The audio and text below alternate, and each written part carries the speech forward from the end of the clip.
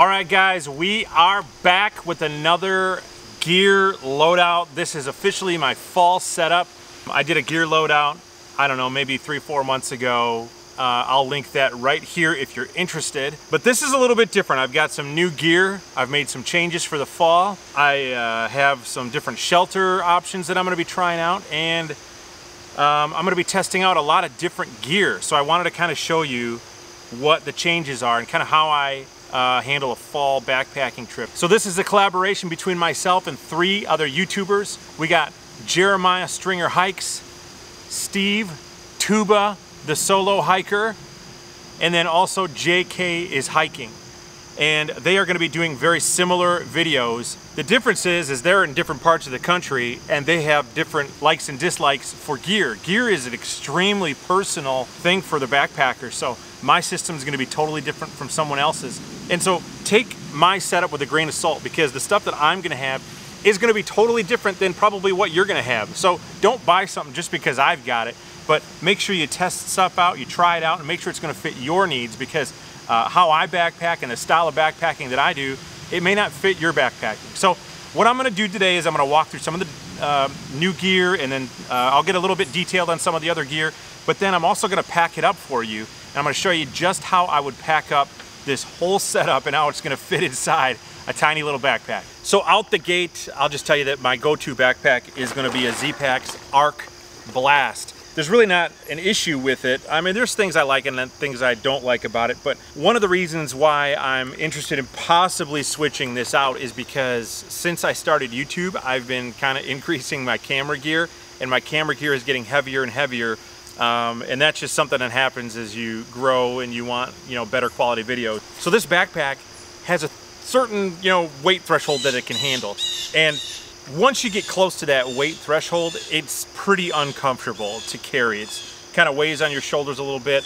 Um, and then the hip belt, you got to strap down a little bit tighter than normal. So it can get a little bit uncomfortable. It's not unbearable, but for longer hikes and that sort of thing, um, it can get a little bit difficult. So a backpack that was sent to me that I'm going to be trying out is the Deuter, Deuter, Deuter Futura Pro 40. Now this is a much heavier backpack. This thing weighs about three and a half pounds, I think. So it's definitely heavier. It's two and a half times the weight of this backpack, but this thing can hold in a lot more weight uh, and it can carry a lot more girth to it as far as the weight of the items. And so I'm gonna be testing this out at least on one hike just to kind of see how this does. But that's a gear change I might possibly actually make. So how I tend to pack my backpacks is I take the stuff that's gonna come out last and I put it in first, right? Makes sense. So the item that's gonna come out last when I'm at camp is gonna be my quilt. This quilt is the UGQ Bandit. It is a 20 degree quilt, fantastic quilt. I like bright orange interior because I like to be able to see things at night, especially in my shelter, whatever my shelter is gonna be. So this is gonna definitely go inside first. So I don't really like stuff sacks at all. And the reason I don't like stuff sacks is because they tend to take your sleeping bag and they'll make it real round. And when it's round, it's not gonna get down into the corners. It's gonna leave the corners, you know, open. So that's room that could be used in other ways. So by pushing this quilt in here all the way to the bottom, it's getting in all the creaks and crevices and all that stuff so I can have a lot more room inside my pack. Now this next step really depends on what my shelter is gonna be. So if I am hammock camping, which a new item that I just purchased myself is the Dream Hammock Darien, and I'm really excited to try this out. Um, if I'm gonna be hammock camping, I'll put this in next because I'm not gonna take my hammock out until the very end. The first thing I'm gonna put up is my tarp. And the tarp that I use is the Hammock Gear Cuben Fiber Tarp with doors. Um, this is an awesome tarp, super lightweight. This would actually go on the outside of my pack in the mesh pouch because I don't care if this gets wet and if it is wet after a, a night's stay, it'll dry out in the mesh pouch behind the backpack. So that's not really that big of a deal. So let's just assume I'm gonna tent camp. I'm gonna take my Big Agnes Tiger Wall UL two person tent, a ultralight tent with the tent poles this thing weighs two and a half pounds, pretty lightweight. I love this tent. It's gotten me through a lot of serious storms. Um, when I was in South Dakota up on a cliff, wicked storms came through. This thing held up great, didn't leak at all. Uh, it was probably 50 mile an hour winds and this thing didn't budge at all. So this is a fantastic tent. So if I'm tent camping, this is gonna be one of the things I'm gonna put in last. This is actually gonna end up at the top of my pack because this is gonna be something I'm gonna end up taking out right when I get to camp. But what is gonna go in next after my quilt is gonna be my Nemo Tensor insulated regular wide pad. It's a 19 ounce pad, but it's 25 inches wide and it's three inches thick. I love it. For my style of backpacking, which I'm just a weekend warrior, I'm hiking maybe 10, 15 miles on average. Not a big deal. I'm only going for maybe two, three nights, four nights if it's a you know a bigger trip. It's really not that big of a deal, but this is what's gonna go in next. Next thing that's gonna go in the pack is gonna be my Trekology pillows. I've talked about these for months. I've talked about these in pretty much every video. I love these. And I'm saying these because yes, I bring two pillows with me. Helps me sleep better, so not a big deal. Um, don't make fun of me. If you do, that's, that's fine. But I love my Trekology pillows. All right, now depending on the weather, if it's gonna be a cold day and I'm gonna need a jacket throughout the day, I'll pack my jacket up on top. But normally that doesn't happen. I mean, I'm hiking, even in cooler weather, when it's 40 degrees out, in the fall, I'm pretty warm while I'm hiking. So I'll take this, and this is a new gear purchase as well. This is the Arc'teryx Atom LT, I think it's called. Um, this is a synthetic jacket, so it's replacing my down jacket for now, just because I want to test it out. My other jacket that I've been using is the Mountain Hardwear Ghost Whisperer, which is an awesome jacket. This one's a little bit heavier, but I like the option of having a synthetic version as well, because when this thing gets wet, it's still going to perform. So this would go in next. This is just a big stuff sack that came with a sleeping bag that was sent that's also going to be tested out this fall but this is the stuff sack for it but I'm going to use it for a clothing bag um, I've been using those cheap dry bags that you get from Walmart for years and I'm tired of them so this is a lot more room much lighter weight it's a Dyneema fabric it just velcros rolls and then clips together. It's kind of acts like a dry bag. So if things were to get wet inside my backpack, which is pretty unlikely because my backpack is made out of Dyneema as well, which is a waterproof, lightweight material, I'm not gonna have to worry. So it's kind of double protection. So um, I will keep my clothes in here. What I normally keep in here is really just like one extra pair of underwear, but I like to bring three extra pairs of socks. Uh, one pair is because I like to sleep with a, you know, a clean pair of socks. And then the other two pairs are me swapping them out throughout the day if they get nasty, if they get dirty, if they get wet. I like to have dry socks. My feet are important to me and making sure that my feet stay uh, comfortable and not having any issues is really important. So that's what's gonna go inside of my clothing bag and my clothes would go in next. All right, another new gear purchase for me. Well, it's not really a purchase. This was actually sent to me by Light AF. Um, Chris must have been listening in some of my older videos where I talked about never having to uh, hang a bear bag before. Everywhere I go, it's like either a storage locker or um, they've got the you know lines to already hang stuff or um, I, you know bear cans are required, that kind of thing. And here in Wisconsin, there's really no bear, so it's not something that I've ever needed before. So he sent me this. So that means I got to find a place where the bear are. and I'm to be hiking there hopefully soon. And I'm definitely to try this out, which means I'm to have to learn how to do the PCT hang. Uh, the whole kit comes with it. Comes with this really cool little Dyneema stuff sack. Inside here is just some bear line. Um, it comes with a toggle as well and then a small carabiner. A really cool way to you know hang your food and to keep it fresh. This particular one has a button instead of Velcro. You just roll it up, same idea as the Zpacks one. Snap it together. I think this one is a little bit thicker Dyneema, so this one's gonna be a little bit more durable than the Zpacks one, but either way, it works.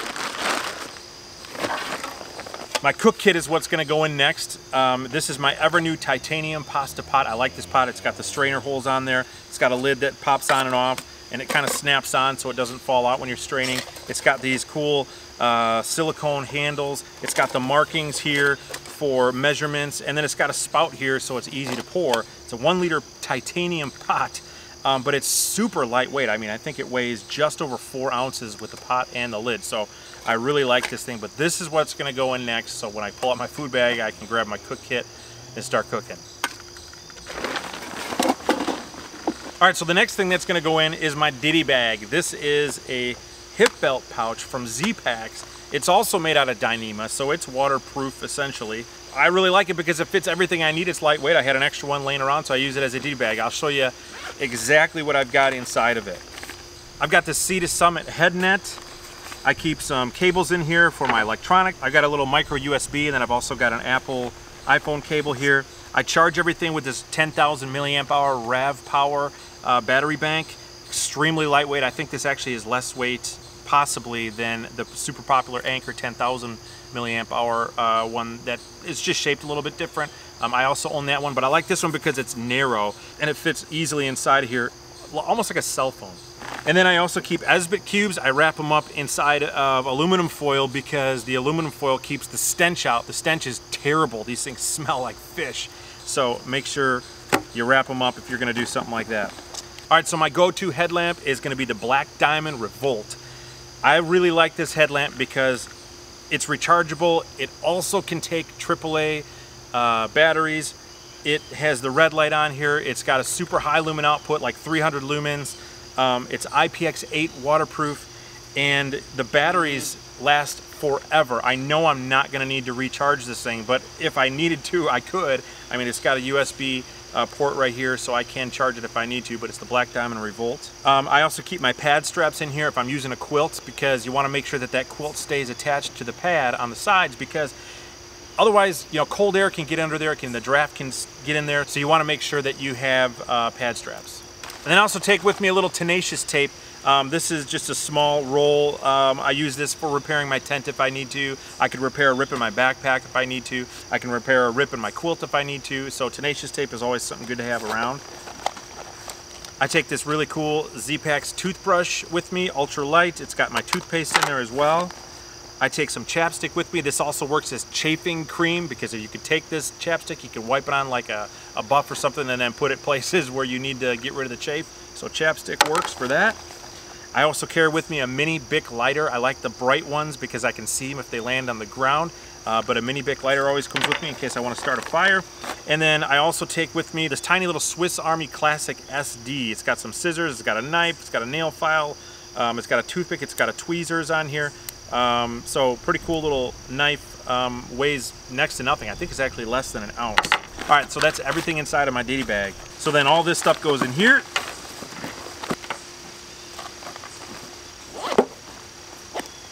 And then this is gonna go right on top because I'm probably gonna need a lot of this stuff throughout the day. And then last but not least, I'm gonna put in my tent if I am tenting. And we'll just assume that I'm gonna take a tent this time around. So this backpack just rolls right up. Just like the dry bags do.